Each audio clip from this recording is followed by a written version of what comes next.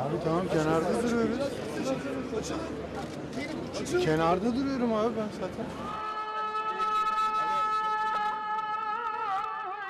Arkadaşlar biraz lütfen ayıp ya. Ne saygısızlık ya. dünyaya sabırlar niyaz ediyoruz. Lütfeyle ya Rabbi.